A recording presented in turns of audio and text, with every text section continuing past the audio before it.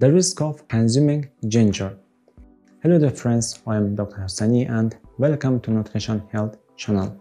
If you're considering using ginger to flavor food or for medicinal purposes, be aware that ginger uh, can cause health problems in some people or interfere with certain medications. So it's important to be aware of the potential risks and side effects of ginger and know under what circumstances it may not be safe to consume. In this video, I will discuss key points about ginger, including its potential risks and side effects, as well as situations when it's best to avoid consuming ginger. Uh, number one, if you have high blood pressure.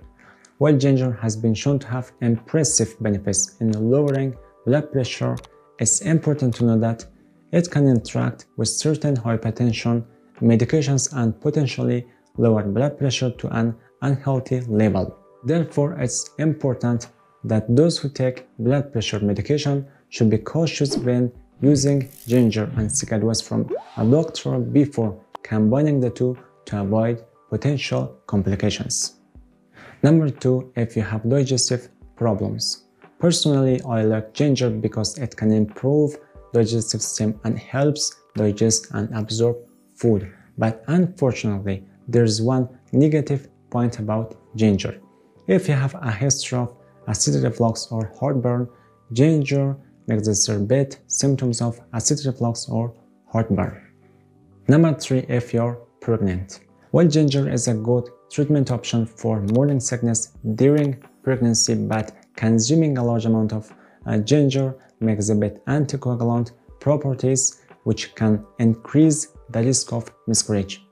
Therefore, pregnant women should discuss with their doctor the appropriate dosage of ginger or limit its use to avoid potential complications.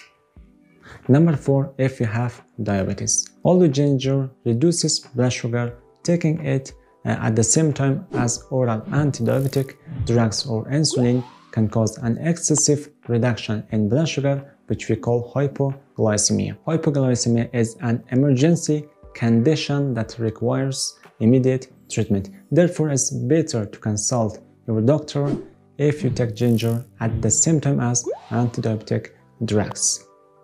Number 5. If you have bleeding disorders.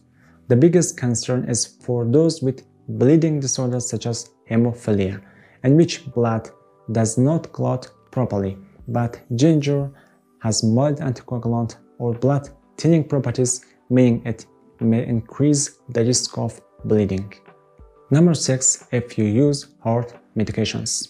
Due to the anticoagulant nature of ginger, anyone taking blood thinners such as warfarin or aspirin or antiplatelet drugs such as clopidogrel for their heart health need to be cautious as combining ginger with these medications can increase the risk of adverse effects such as excessive bleeding.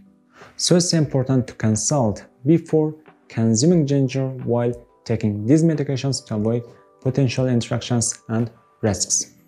Thanks for watching. Hope you enjoyed this video. Please like my video and also don't forget to subscribe for more health nutrition contents.